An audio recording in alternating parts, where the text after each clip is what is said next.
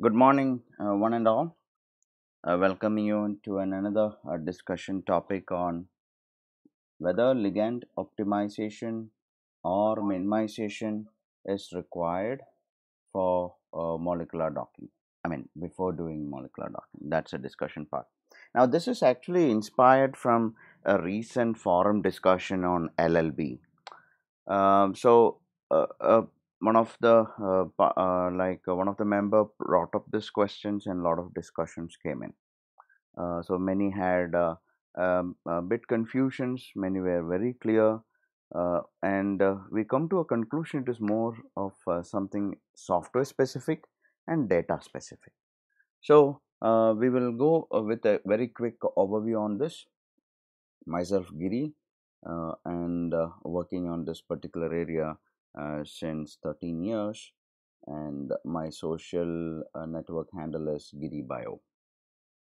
So the concerns are like this uh, like first uh, when you consider a ligand uh, before docking uh, if you're uh, going to consider large data set of maybe natural compounds or any others uh, we have to do a, some kind of cleaning or preparation so we have to consider like uh, non-ionized we have to look at uh, counter ions chemical reactive moiety um, prom- uh, promiscuous binders fluorescence molecules like dyes redundancy i mean duplicates diversity desaltation uh, process that means small fragments to be removed uh, because uh, uh, docking programs might not be able to handle it and uh, racemic mixtures like racemates. There are certain tools that can handle racemic mixtures and others may not be. Both will be considered as uh, uh, the same uh, stereochemistry. So, those things to be uh, considered anyway. And the other concern is like optimization.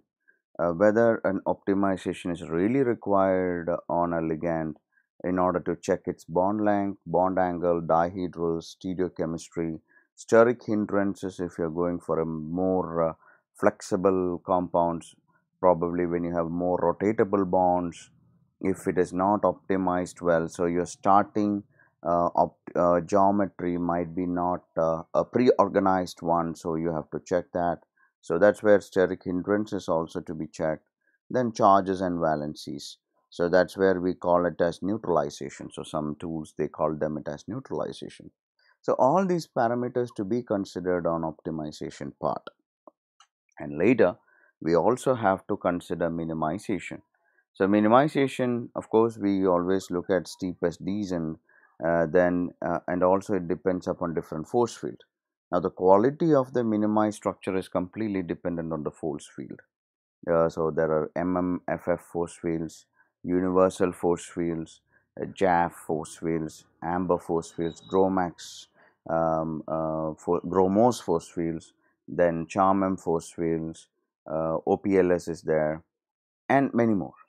Now, uh, um, in my molecular dynamics uh, uh, session, I've clearly mentioned about the quality of these uh, force fields, how far the predictions from the force field are close to experimental prediction or experimental values. So uh, the, the, that of course it is a 2012 paper. Mm, After that, lot of improvements have been optimizations have been done on uh, force fields to improve the accuracy. And also we do minimization to understand the false positives and artifacts. Yeah, uh, sorry, there is a typo in the artifacts spelling, um, right? Uh, so uh, this is what we have to now consider. So whether uh, we have to do all this in a single go or uh, whether we have to do only one optimization or minimization. Now that is a concern that we have to understand it all depends upon the data that you are going to use. What kind of from where you got this data, whether it is a curated one, whether it is a publicly deposited one, whether it is a crystal structure one. So it all depends upon where you got the data and the capability of different algorithms how to handle them. Another concern was whether we have to generate confirmations before doing docking, but that we will discuss in a moment. So, the challenge is to deep dive. One is crystal structures, it's not a challenge, it's about uh, the question whether to minimize or not. So I am sure that many of us might not be having access to CSD database because it's a paid subscription and that is a small molecule crystal structure database available. And uh, for me, I, am not sure uh, about the other experts. For me, I do not want to uh, minimize the crystal structure again uh, because they are X-ray diffraction data. I don't say that is the most accurate uh, uh, elucidation method in the world, but the most accessible and available method is that one. We do have NMR also, but again. So, um, um, so that's what we have to consider. So, and also one more thing we have to see is uh, when you have a crystal structure uh, on as being synthesized and you crystallize it, elucidate the, the crystal structure, absolutely fine. But when it being administered into a biological system, it goes and bind to uh, your target protein or some other target, the conformation of your crystal structure or of your ligand is going to change. So the biological complex co-crystal conformation will be different from the actual conformation of your compound. So this is where we have to have a better understanding. So when we are trying to administer to the docking program we have to ensure that we have a very good starting point. That doesn't mean that you have to perform a DFT calculation for all your compounds. No, for uh, 1 million compounds, DFT takes time. So it is always to start with some kind of optimization, right? Now 2D structures. So for crystal structure, I am coming to a conclusion we need not do any minimizations or optimization. It's all clear. But only thing if you have any charged uh, uh, reagent atoms or if you have any salt forms that to be cleaned uh, that you have to ensure that but otherwise you don't require any minimization it's all taken care. Now coming to 2d structures whether drawn in a, a sketcher chem sketcher or marvin sketch or ChemDraw wherever and then you downloaded it from some other resources now where you have to consider whether the explicit hydrogens are added or not. You also have to ensure that a very good uh, uh, tool or an algorithm is being used to um, ensure that 2D to 3D optimization is taken care because anyway you cannot take 2D to your docking algorithm you need to take 3D. Now you might think that okay this particular docking algorithm accepts 2D also. Please bear in mind for you it doesn't look like multiple algorithms coming into the picture to do the job but on the back end there might be some tools to convert 2D to 3D. I know many tools uses OpenBabel on the backend. So in order to support different file formats, even some of the commercial tools also use OpenBabel uh, with proper licensing from the developer. So they have uh, OpenBabel, even they have in-house converting uh, tools also for reading different file formats and converting 2D to 3D on the fly. Because we don't want to do a too much of minimization there because as I really said docking algorithms takes care of it most of them earlier days it was not but nowadays it's most of them takes care of it so 2d to 3d optimization to be today i'll be showing an example in a, a freely accessible software uh, of course it's not completely free but uh, most of its features are free uh, to academics also so that will be taken care now comes with the confirmers. now confirmers is a bit tricky question and the challenges here. The question is whether I need to generate uh, or I have to do confirmation analysis or sampling before I am performing any docking analysis. The first to, to answer that question, it all depends upon your uh, docking algorithm. If the docking algorithm can generate uh, different poses and uh, conformations within the algorithm, you need not do. Now currently you have many docking programs available I think 99.9 percentage most of them are taking care of it. So you need not to worry. Earlier days, yes, of course, that you have to take care of generating the conformations. There you have to see which is a global minima, local minima, uh, remove redundancy, looking at the energy parameters. Of course, you cannot use high level force fields. You will be using MMF force fields. There are free tools available like PC model and uh, as well as balloon uh, to generate conformations. But ensure that these confirmers are not uh, the best ones because here again you have to do uh, a bit a high level of uh, minimization to understand whether the energy is a local or global minima. The other challenge in uh, conformations is that let's consider that you already uh, the software is having the capability to take care of confirmers, but there is something called uh, ring confirmations. We don't know how many of them can take care of that. So boat and chair. So boat conformations and let's say take cyclohexane, right? So it, it could have uh, different uh, conformations also.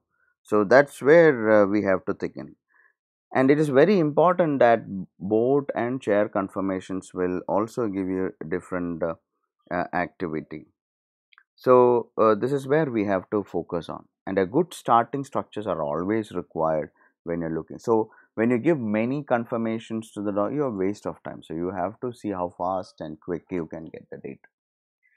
So uh, another thing is that implementation and visual example. So uh, how we can implement this and uh, so let me show you an example. So this is how about marvin sketch uh, uh and uh, let me bring in a simple structure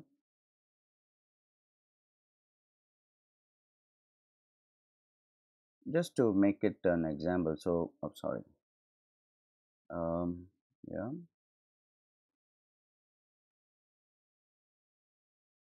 Sorry my mouse clicks are not going well. So that's the reason.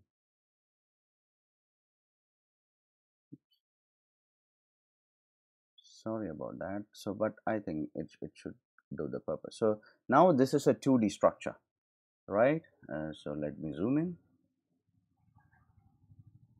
so this is a 2d structure uh, okay. This is a 2d structure. What if I, this completely 2d so let me show you that information uh, by clicking the source or not source. Oh I forgot. So this was like it will show you the coordinates actually uh, ah there is an option. Sorry I have to look into it. Uh, this tells you that uh, um, what are the coordinates? So because I want to show you there is only x and y uh, coordinates. Uh, sorry I missed where it is actually. There's an option. I will put it in the description uh, when I find it. And uh, now this is a 2d structure x and y coordinates only available. Now going to structure I'm going to add explicit hydrogens right? Now explicit hydrogens are added. I can go to structure and say clean in 3d now uh, this is a 3d structure. Now of course this will be this um, uh, middle region uh, rings will be planar uh, because they are aromatic. Now, if you want to convert it to 2D, you can always clean it to 2D. And if you want to remove it, uh, the hydrogens explicit, you can still do that. So, another one uh, option is that you can also generate confirmations here, but ensure this only works for licensed. Uh, I don't have a license here. So, uh, you can use MMF force field, energy units. Let's keep it simple and then click OK so that it will try to generate uh, uh, a single conformer and this is also kind of an optimized uh, not uh, clearly optimized but you can see it is a 3d structure right so uh, these are something very simple and uh, I, I, know that many of you can also use avogadro argus lab even openbabel also has um, a feature called minus minus gen 3d when you're converting any of the 2D to 3D so that it takes care of 3D optimization. And as I already told you, this was being uh, inspired from the discussions from LLB forum. So uh, one of the member called uh, Jitesh uh, uh, Doshi. So he picked up this picture. I, I, really would like to acknowledge because I took this picture from uh, his post. So here you can, he has very well narrated the difference here. The first one, uh, without this optimization, of course, it's a 2D structure being converted to 3D. Without the optimization, you can see after docking it is minus 9.9 kcal per mole. After with optimization, you can see it is minus 9.1 kcal per mole. You can see the configuration change in the sulfur and the two uh, oxygens. That's where you see the difference, right? So, even though we say docking algorithms takes care of confirmations, but there are certain things that you have to take care So that's where uh, we always say a good starting point or a good pre-organized structure or 2D to 3D conversion optimization should be properly managed.